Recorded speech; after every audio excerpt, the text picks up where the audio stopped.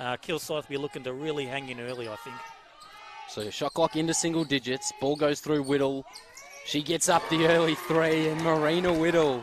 We've played half of the first quarter. It's the Ringwood Hawks 10 to 4. They have the lead. Whittle, the little Nice. hesitation. It was so subtle, wasn't it, Kenny? Just a little hesitation in the head fake. Single digits on the shot clock. They look for the feed. Whittle, though, good hands, and it's what you spoke about earlier, Kenny. And how's the touchdown pass to Britton?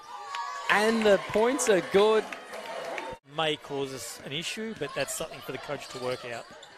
So watch this space when it comes to the Hawks. Whittle wide open three, and she's just too good of a player to forget about on the perimeter. A lot of their great players have uh, 3x3 backgrounds, Yeah. and that was a little bit of that from Marena Whittle because I think in 3x3 that might have been allowed. Dunlop on the break goes up with the one hand. That was a pretty finish. Yeah, that was a beautiful finish. If, um, if Alexa Hart finishes close to the basket, because she's getting those looks consistently.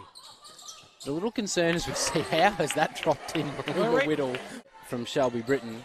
And then a turnover. So as we were applauding the Cobras and the ball movement, she has to shoot it. She's been shooting it so well from deep.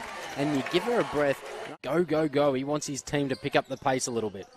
Yeah, that's um, that's something that they're obviously spoken about, pushing the pushing the ball. What offense? How good is that offense?